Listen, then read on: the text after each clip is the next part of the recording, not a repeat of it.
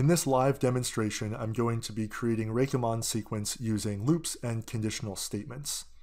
So we look at different sequences all the time, uh, from ones like Fibonacci sequence where we define some starting value and we have some rule of what the subsequent values are going to be, or just a simple arithmetic sequence or geometric, something like that. Uh, we're going to look in here specifically at this sequence called Recamán sequence. So we're going to start uh, creating our sequence with this little n value equals zero, and then we have rules for how we find all the subsequent pieces in our sequence. So when little n is equal to zero, that's going to be the first term in our sequence, and we're going to define that as zero. Then we're going to increase little n to 1. So if we want to know a sub 1, well again, we have to look at these rules here. So either uh, the next term in the sequence is going to be determined by the previous term minus n, as long as that term is positive and it's not already in our set, and otherwise it's going to be the previous term plus n uh, as the as the next term in the sequence. So here I have a list of uh, the first uh, couple um, dozen terms that are going to be in this sequence. So we want to do this programmatically using MATLAB. So we can see that these are what the values should be 0, 1, 3, 6, 2, etc.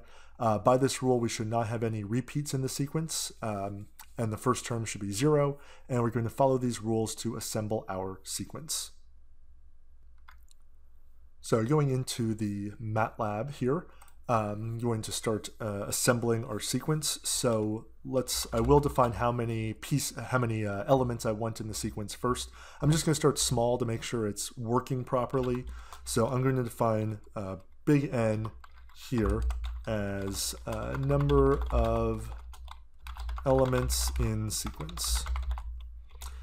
And once we know that our uh, routine is working, I can increase that and make sure that it agrees with what uh, we already know from the, the given uh, sequence or the first couple dozen elements in the sequence here. Uh, all right, so I'm going to say that then A uh, which is going to be our sequence, the values in our sequence. I'm going to predefine using zeros, uh, just uh, n and 1. So let me just run this, make sure we're working so far.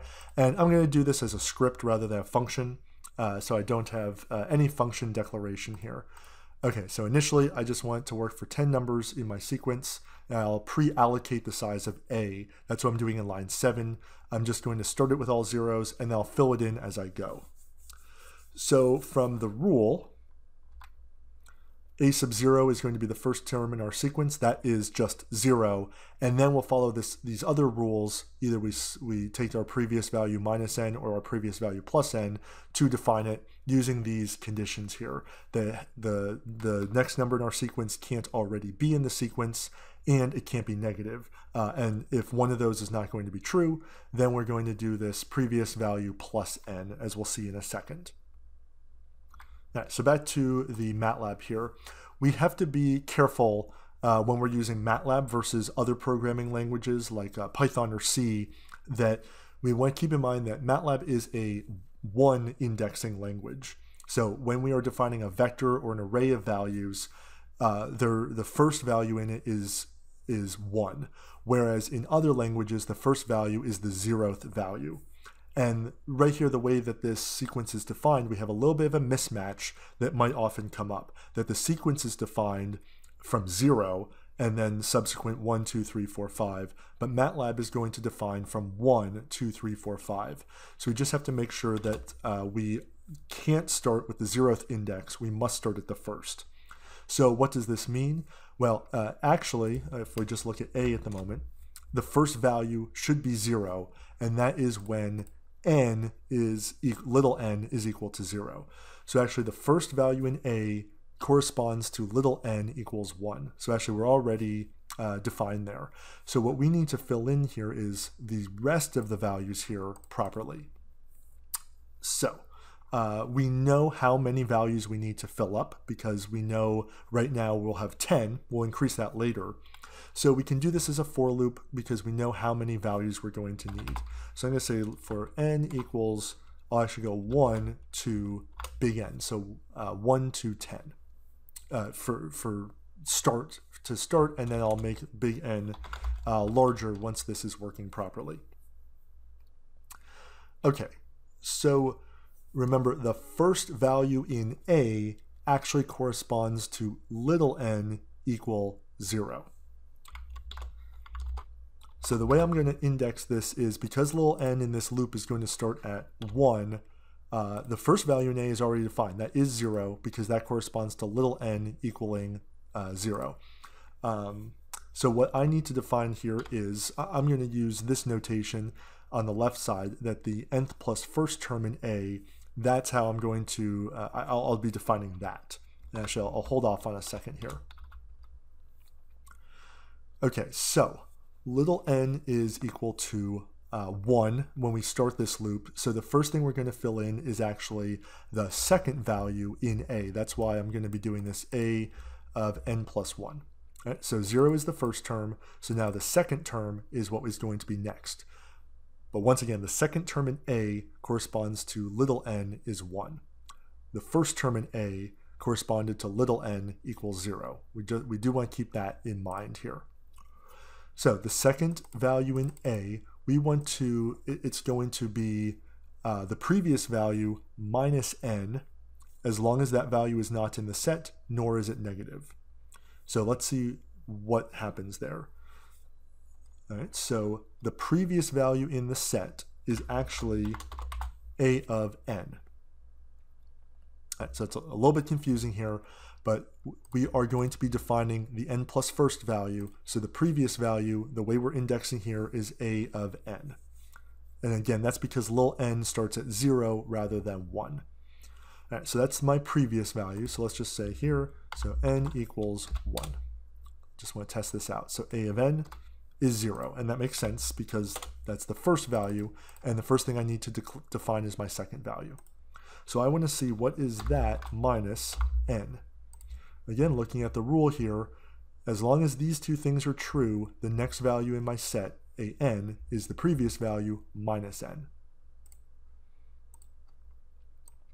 All right, so let's see what that gives me. That will be negative 1 when little n is 1. But if we look at the rule here, uh, it's this value unless it's negative. So it has to be greater than 1. So like when little n is 1, this is not going to be true. Right? So if this thing is true, if it's positive, then I will declare a of n plus 1 equal to this.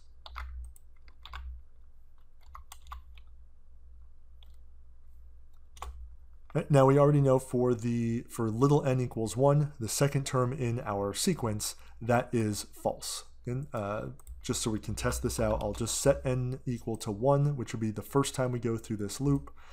So it would be negative 1, negative 1, which is not greater than 0. So this should not trigger. So we have the other rule, if that's false, and if it's not in the set, I'll add that in a second here. So already uh, that's this piece is not true, so otherwise it's the previous value plus n.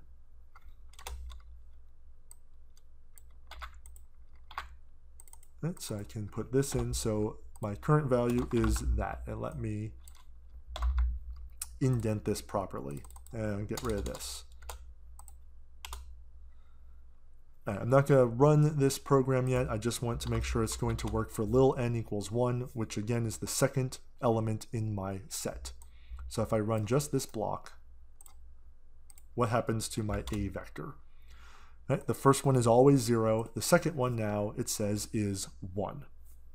And let me just kind of step through uh, the loop to make sure it's working. So I'm going to temporarily display my vector A on each iteration of my loop. Right, so I'm going to put a break here to, to see how this is working. And I'll just hit run now. So you see it stops here. It's going to wait for me to do something. All right, so little n is 1, and I'm on the first iteration of my loop.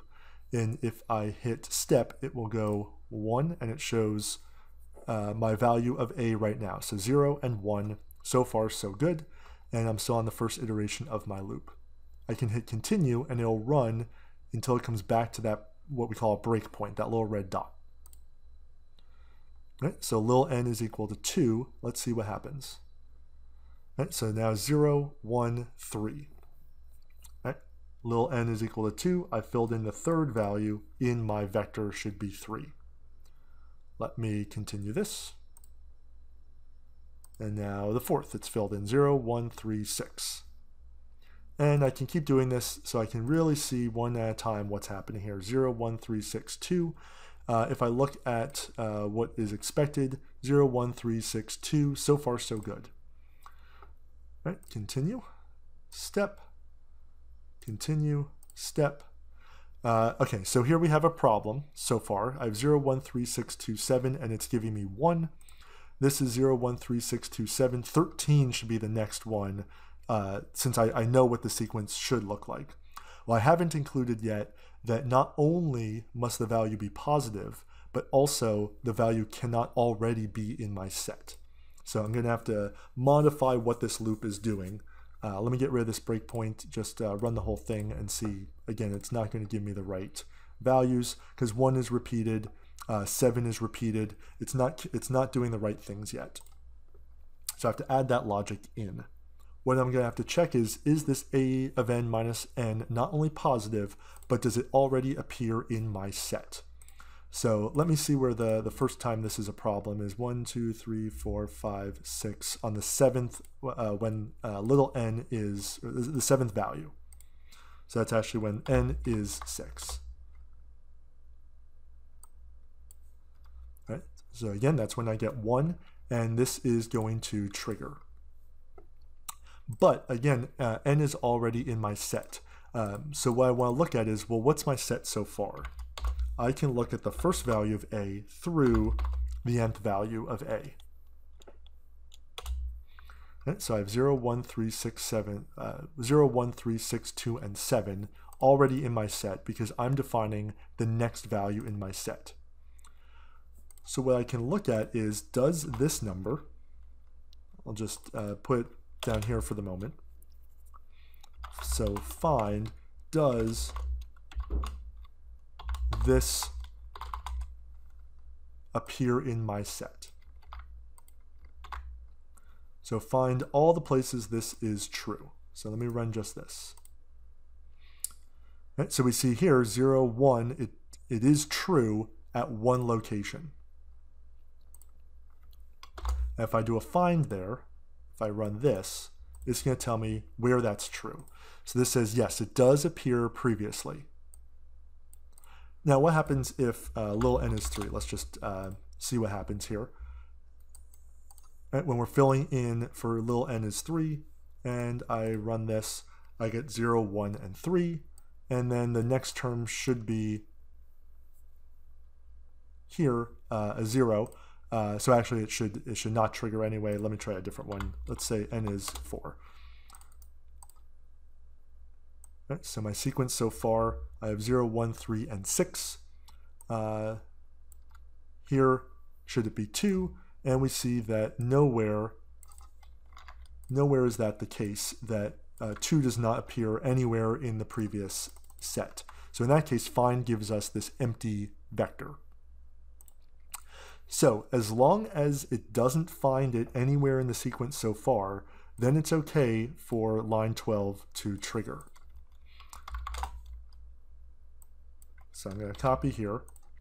But the problem is um, when I do this and, I have to evaluate a logical 1 or 0 and another logical 1 or 0. So right now this is okay. If I run that, that gives me a 1. But if I run this, well, that's giving me an empty matrix. That's not a 0 or a 1. So I need to do something that will make this a 0 or a 1. So I can check this, I can use this is empty function here. So is empty, I'll ignore this for now. Uh, there's better ways to do this, but I'll, I'll do it this way for right now. So this should run if I have an empty matrix. What is empty does is it checks the, the, the argument in here, and if it's empty, it returns a 1. And otherwise, it returns a 0. So if I run this, I get a 1. So now the statement 12 will trigger as long as the next value is positive. That's what this is checking. And as long as it doesn't appear in my sequence so far. So I'm always checking up to the nth element in my sequence. Right? So as long as that's empty, uh, if both of these statements are true, then that is going to, um, it says, yes, this is the next value in the sequence. If even one of these is false, then it goes to this other branch and says, no, it should be the previous value plus n rather than minus n. Right, so let's see what happens now with this extra little bit of logic in here, how it's going to affect uh, our sequence. Right, so running this now with this extra bit here, 0, 1, 3, 6, 2, 7, 13, 20, 12, 21, 11. If we do a quick comparison here, um, 7, 13, 20, 7, 13, 20, 12, 21, 11. And we see here, yes, uh, those are all matching. And uh, let me do this just on the outside so it's not printing so often here. All right, so I it appears to be working so far, and what I can do now is uh, I can up this value of big N so I can get more numbers in my sequence. Um, I just wanted to start small so I wasn't running a whole bunch of numbers when I didn't know if it was working or not. So let me just do this for 30 numbers now. So the way I coded this, it's still going to work. I don't need to change anything else because the for loop I have will now go from 1 to 30. And again, it's going to keep checking these rules uh, over and over again uh, and building up my sequence. So if I run it now, I'm going to get 30 values. Scrolling up, it's printing out my entire list of numbers here. And I can increase it further if I wanted. Let me just do 50 and run it and it builds my entire sequence.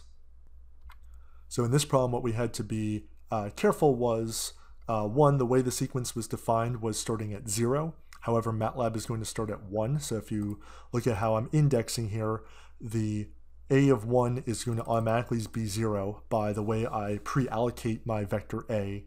And then uh, to the left of the equal of the single equal sign, I'm using this n plus 1 so that when n is 1, it's going to actually define a of 2, a of 3, a of 4, and uses the previous value to define the next value here.